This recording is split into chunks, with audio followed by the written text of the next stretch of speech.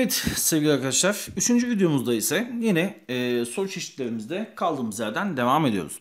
Şimdi arkadaşlar böyle e, bu tip sorularda karşımıza geliyor. Her şey sadece kütleli, cisimli, arabalı gösterimlerle olmuyor. Bazen de grafik soruları da karşımıza geliyor. Bana vermiş ne vermiş? İvmenin kuvvete bağlı e, grafiğini vermiş ve burada cisim ne yapmış? Sıfırdan 8'e kadar hiçbir şekilde ivmesi sıfır olmuş arkadaşlar. Ya sabit hızlı gidiyor ya da duruyor. Sonra ivmesinde bir artış meydana gelmiş. 8 ile 12 Newton e, arası kuvvet uygulandığında. Cisim ile yatay zemin arasındaki sürtünme kaç sayısı nedir diye soruyor. Şimdi arkadaşlar biz yine ne biliyoruz? Newton'un temel yasası yani F eşittir M çarpı A'yı biliyoruz. Ben buradan M'i çekersem ne olur? E, M eşittir F bölü A olur.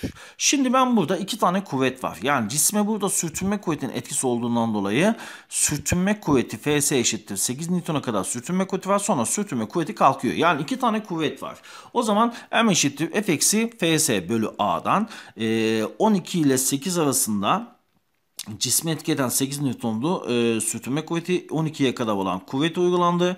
12 eksi 8'den 2 kilogrammış. Yani bu cismin aslında yatayda veya işte nerede hareket ediyorsa bu cismin kütlesi 2 kilogrammış. Benden ne istiyor arkadaşlar? FS'deki katsayı istiyor.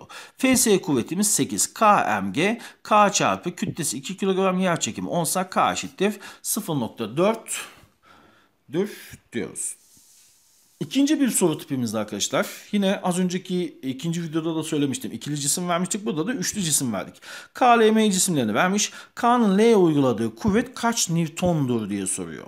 Şimdi burada bilmemiz gereken bizim yine Önce ivme bulacağız. Bakıyorum soruda sürtünme var mı? Yok. O zaman bana ne lazım? İvme lazım. İvmeyi bulmam lazım. Neydi arkadaşlar formül? Yine ben size hatırlatıyorum. F net eşittir. M toplam çarpı A. Buradan A'yı çekersen F net bölü M toplam. F net kuvvetimiz ne kadar? 20 Newton. Sistemde ivme bulunurken toplam kütle alanı demiştik. 2 artı 1 artı 2'den 5. 20 bölü 4'ten 5 oldu. Şimdi burada benim F'nin yani L'nin e, K'nın L'ye dediği için L'nin K'ya uyguladığı tepki kuvvetinden bahsedeceğiz. Yani buradaki n'i bulmamız lazım. O zaman F eksi FLK dediğimiz eşittir. M e, K'nın kütlesi çarpı A. E, K'nın kütlesi çünkü bunlara itme uygulayan. O zaman 20 eksi FLK'den 2 çarpı 4 8. E, 20'yi bu tarafa atarsak FLK eşittir. 12 Newton'dur diyeceğiz. Yani sistemde bunu bize bulduruyor.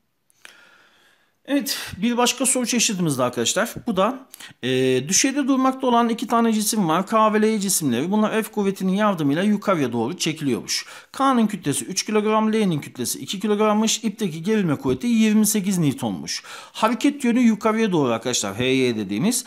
Buna göre diyor bana F kuvvetinin büyüklüğü ne kadardır diye soruyor. Şimdi arkadaşlar düşeyde duran cisimlerde ne dedim? Yer çekim ivmesinin etkisi var. 3 kilogramsa 30, 2 kilogramsa 20 Newton'luk kuvvetlerin etkisiyle aşağı doğru bir ağırlıkları var. O zaman neydi? Cisim yukarıya doğru gidiyor. Şimdi 20 Newton 28 Newton hangisi büyük? Yukarıdaki büyük. O zaman T eksi G. Yani T eksi G ile eşittir ML çarpı A. Buradan arkadaşlar hangisinin ivmesini bulursan zaten sistemde e, aynı ip üzerinde hareket eden cisimlerin ivmeleri ortaktır. E burada 28 eksi 20'den ML, L'nin kütlesi 2. Buradan 8 eşittir 2 çarpı A'dan A eşittir 4 metre bölü saniye kare. Yani bu sistemin ivmesi yukarıya doğru e, 4 metre bölü saniye karelik ivme ile gidermiş diyoruz. Şimdi burada bilmem gereken ne var? Şimdi F kuvveti var. F kuvvetine ters yönde olanlar var. Yani K'nın ve L'nin ağırlıkları ters yönde F'ye. F eksi G artı GL. O zaman toplam kütlelerini alacağız. MK artı ML. Çünkü F'e bunlar da ters yönde. E, çarpı A dersem burada baktığımız zaman F kuvvetimiz kaç çıkıyormuş arkadaşlar? 70 Newton'dur diyeceğiz. Şimdi bir başka örneğimizde de şundan bahsedelim sevgili öğrenciler. K cismini vermiş, L cismini vermiş. L cismi düşeyde duruyor. Bakın arkadaşlar burada sürtünme var mı? Yok. Sürtünme yoksa ilk olarak neyi buluyorduk? İvmeyi. K cismi 3 kilogram, L cismi 2 kilogram. E 2 kilogramlık cisim düşeyde durduğu için 20 Newton'luk kuvvetle aşağı doğru çekiliyor. 3 kilogramlık cisim zeminle sürtünmesi yok. F net eşittir M çarpı A eşittir. Önce ivmesini buldum. 4 metre bölü saniye kadar. Bana neyi soruyor? İpteki gerilme kuvvetini soruyor. Bakın arkadaşlar öğrenciler bunda şaşırıyorlar. Hocam kütleyi alırken bunu niye anlıyoruz? Ya bak Arkadaşım bu aşağı doğru giderken 3 kilogramlık e, kütleden dolayı ipte gerilme kuvvet oluşuyor. O zaman T eşittir mk çarpı A, T eşittir 12 Newton'dur. Yani e, ivme çarpı cismin kütlesini alırsak burada bulmuş oluyoruz. Evet bir başka örneğimizden bahsedelim arkadaşlar. Aynı soru 2018 yılında e, LYS'de karşımıza geldi. Hatta orada iş olarak sordu. Biraz daha kolay olarak sormuştu. Şimdi burada arkadaşlar 3M, 5M ve L cismini vermiş. K, L, M cisimlerini vermiş. K'nın ve M'nin kütlelerini vermiş. Sistemin ivmesi 2 metre saniye kareymiş. ML'nin kütlesi nedir diye soruyor.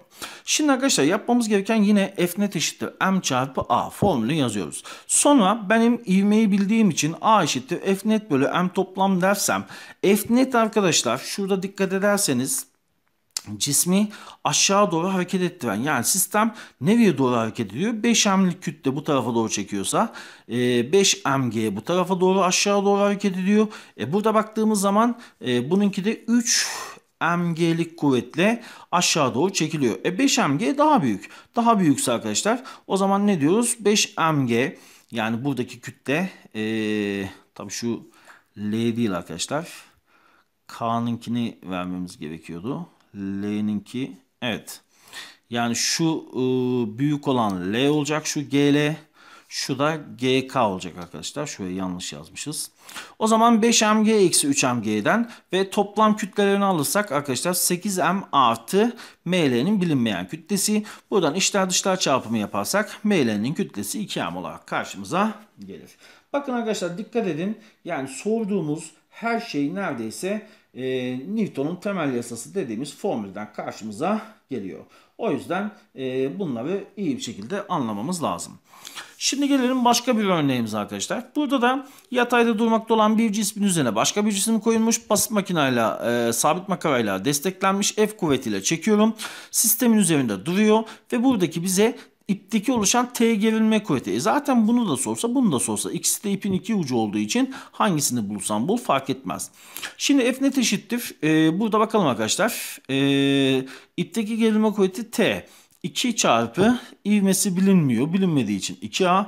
E, aşağıdaki için yapalım. F eşittir M çarpı A'dan bu tarafa doğru çeken 20 var. Bu tarafa doğru olan T var. E sistem böyle gittiği için bu kuvvet daha büyük. Çünkü bu tarafa doğru çektiği için 20 eksi T eşittir 3 çarpı A. T eşittir 20 eksi 3A. E T'yi biliyorum ben. T'yi burada buldum zaten. T neydi? 2A'ydı. Getir burada T'yi şurada yerine yaz. Yerine yaz. 2A eşittir 20 eksi 3A.